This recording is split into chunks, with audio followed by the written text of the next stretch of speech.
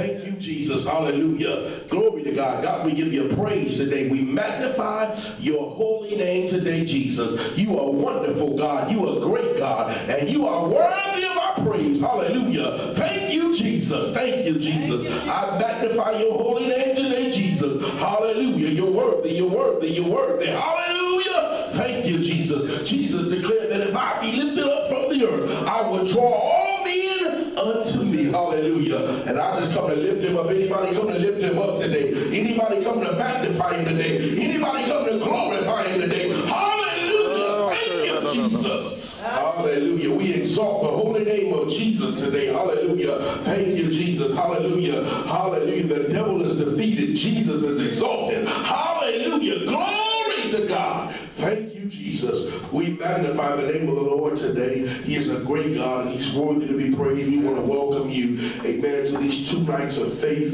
Amen. And we want to just begin to dig right into the word of the Lord and to share. Hallelujah. How many people know that God is turning things in your favor? Yes. Hallelujah. Can I declare to somebody that God is turning things in your favor? Hallelujah. It don't matter how crazy it look. It don't matter what is going on right now. I declare that God is turning things in your favor. Yes, God.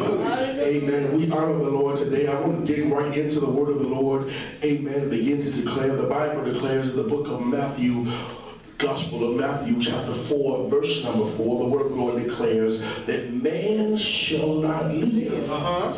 By bread alone, but by every word that proceeded out of the mouth of God. Man Well. shall not live by bread alone. Yes, But our livelihood is out of coming from the word of God. He says, we will not live by bread alone, but by every word Uh-huh. that proceeded out of the mouth of God. Romans, the 10th chapter, verse number 17, the Bible says, So then faith cometh by hearing Yes. and hearing by the word of God. So then faith comes by Hearing.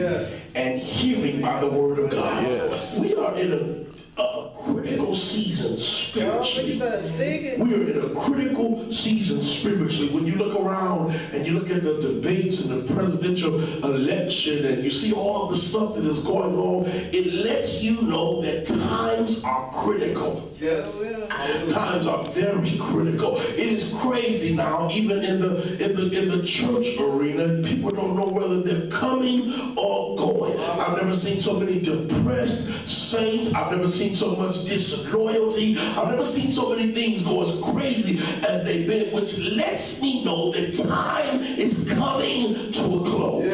And Jesus is on his way back. That when the Son of Man returns, shall he find faith on earth? It's, it's, it's funny to me how so many people claim to know God, but they don't believe God. Well, So many people claim to have relationship with him, but they don't have faith in him. They don't believe in him. Now let me start by saying this. The Bible declares in Romans, the 12th chapter, around the third verse, it says that God has dealt to every man the measure of faith. Well- So I want to start by dispelling something. Uh, you, it's not the fact that you don't have faith. It's the fact that your faith has not been worked.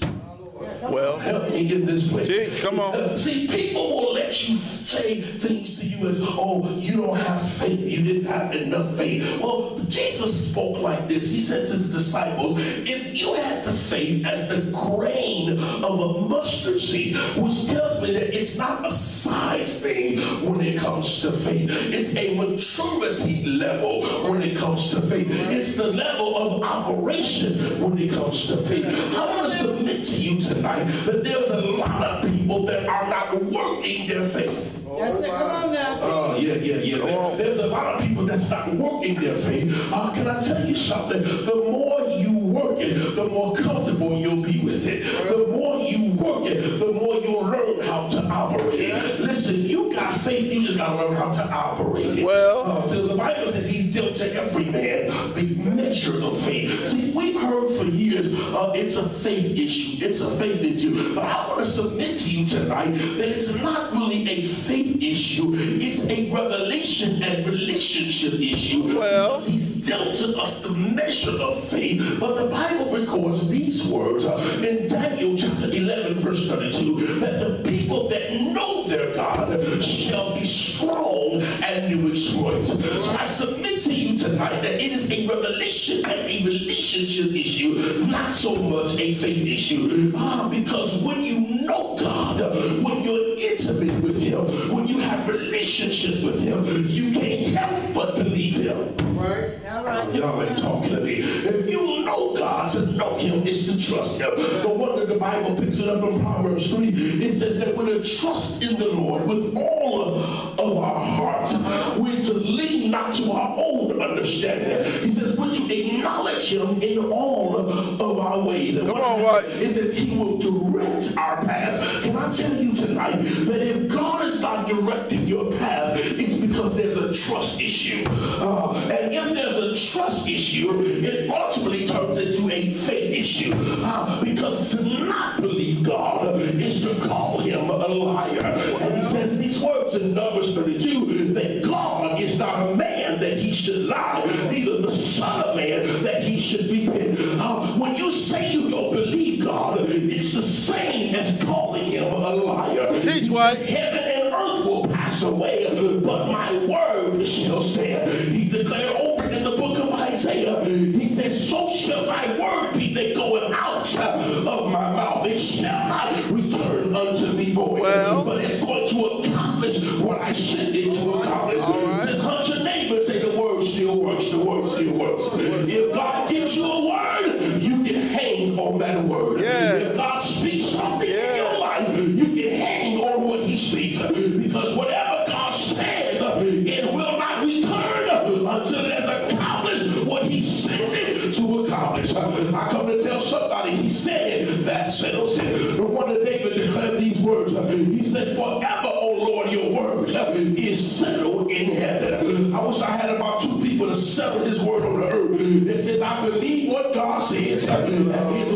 his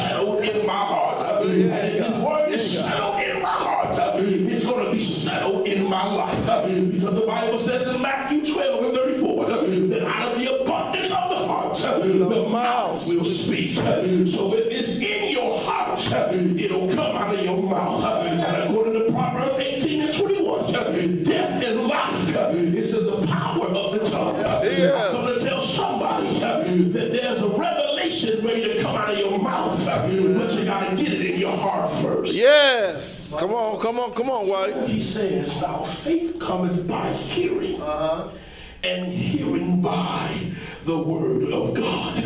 There are so many uh, misrepresentations when it comes to faith. You've heard things like faith moves God. But after careful research, Apostle Simpson, I've learned that it's not really faith that moves God. Oh, now y'all looking at me. Come on, come on. Apostle, explain yourself. Because watch this. If faith then that means faith can move God in a direction he might not want it to go. Well. so in other words, you can't have faith and declare it'll make God do anything. Because the reality is this faith brings reality to grace. Uh, Ephesians 2 says it like this uh, 2 and 8 says, For by grace uh, you are saved Yes. Faith. It is the gift of God, not works lest any man should boast. So, in other words, uh, let's help me. Can we go a little deeper? Come on, come on. John's Gospel records it like this uh, in the first chapter. Uh, it says, We beheld his glory uh, as the only begotten of the Father, full of grace and truth. Well. So now therein is a revelation because there's grace, there's truth, and there's faith. So faith now brings the reality which establishes truth uh, in my life. Uh, But faith will not negate truth uh, because Jesus is truth. Uh, and because Jesus is truth uh, and truth is filled with grace. Uh, so faith will not jump over grace, but faith will bring grace to reality. What does that mean, Apostle? It means that faith can't move God in a direction he doesn't want to go. Faith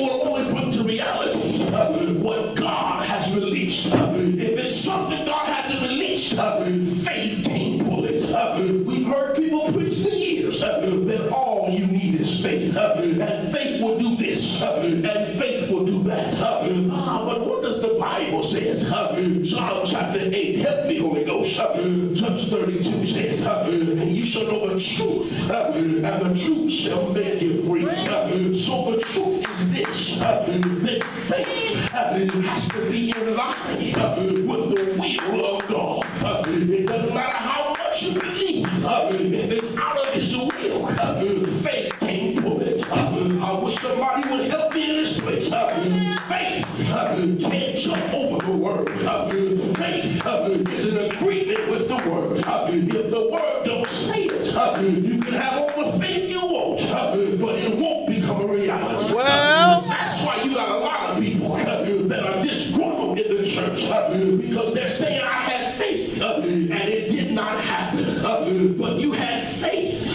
but you didn't have revelation and you didn't have relationship.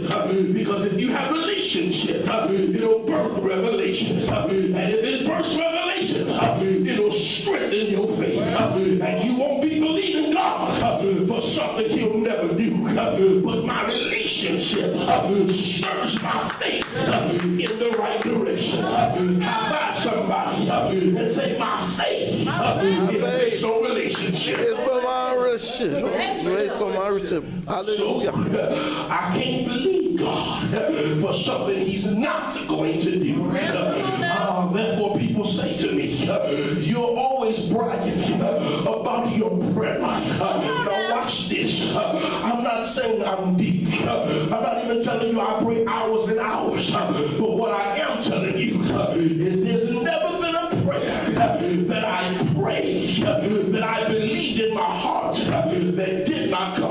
Help me, Holy Ghost. I want to give God glory today because I am a living example that whatsoever things you ask in prayer, believing, that shall you receive. Well, let's go over the Psalms a little bit and talk about David that said these words in Psalms 37 uh, that God, I'm sorry, 34, uh, that God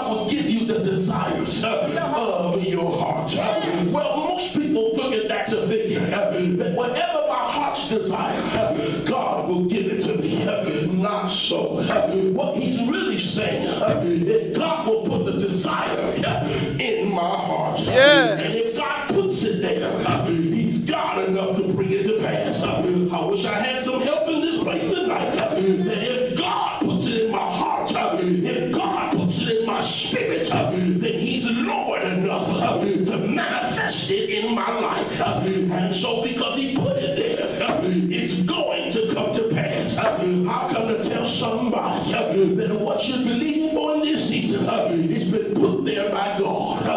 And so since God put it there, he's going to bring it to pass. Lord, have mercy. You remember Noah. Help me out with some Bible. The Bible says by faith, he was warned of God of something that they'd never seen before. It had never rained.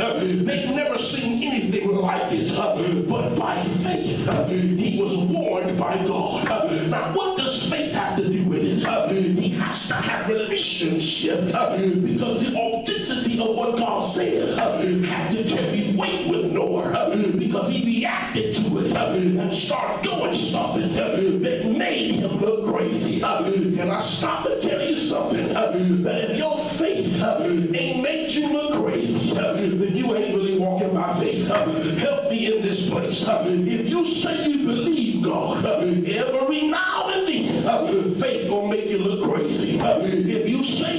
trust God, every now and then, he's going to give you an instruction that nobody understands. I'm so glad I've been delivered from people because people will bind you. People will hold you down because they can't see your vision. Every now and then, when God speaks in your life, he doesn't share it with everybody. By faith, Noah was warned. When God make a public announcement, he just warned Noah. Every now and then, apostle, God's not going to share the revelation with your circle. Your circle just got to trust the God in you. Now, the problem with that is, is that when you walk by faith, it becomes lonely because everybody can't hear what you heard. So then faith cometh by hearing uh, and hearing by uh, the word of God. Uh, He gave Noah a word uh, and Noah began to build. Uh, Who am I preaching to tonight? God sent me to Arkansas to tell somebody, I gave you a word. Now get to building. All right, He sent me to tell somebody that you have a word. Now you can go to building. Thank you, Lord. Don't wait. Thank you, Lord. The word is popular. Don't wait till everybody else sees it. But he gave you a word. Now he said, get to building. Yes, Lord. Yes, Lord. Yes, Lord. So then, by faith, uh, hear you, he's warned by God, and nobody understands what he's doing. As a matter of fact, they're teasing him. Can you imagine? He starts building the thing that he doesn't even know what to call it. He don't know if to call it a boat, an ark. He don't know what it is. He just know what God said. God watch this. The Holy Ghost is such a master architect stop and prophesy to somebody uh, that in your stage of obedience, uh, he'll anoint your hands uh, and he'll anoint your eyes to see and build what you never even knew existed. Can I tell somebody, you're not going to have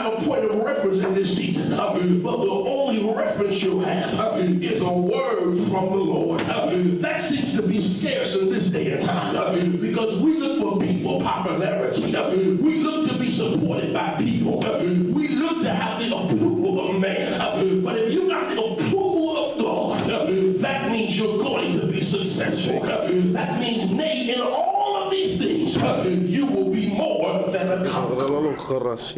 Watch this. Hallelujah. So by faith, he was warned Thank you. by God Yes, God. that something Oh, yes. is coming. Yes, God. Yes, God. Every now and then, God will pull you in a place Yes. where nobody else is there. See, we live in a popular time where we want a buddy buddy relationship with God. Yeah. We want everybody to feel and see what we see. Yes.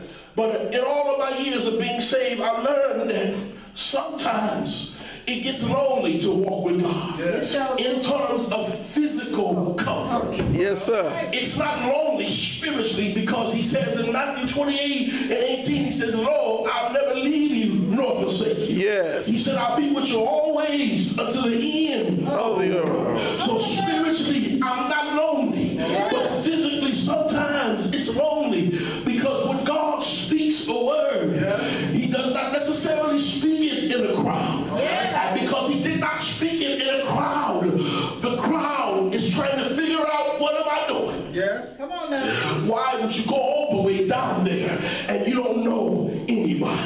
Are you sure that God said it? Can you imagine Noah hammering away at this strange object and folk looking at him like, Noah, what are you doing? It's not even a cloud in sight. Yeah. We've never heard of a flood.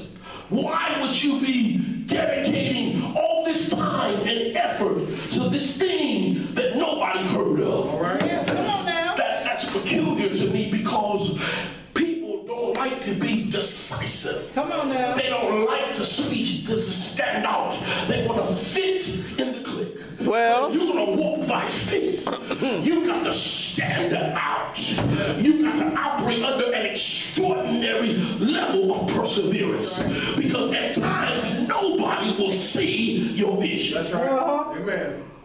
I was remodeling my church, and almost practically nobody could see what I was looking at. Well, That's right. And when it started coming to fruition, Come on now. they said, man, Pastor, wow, I didn't see it. And I said, that's because God didn't tell it to you. That's right. See, every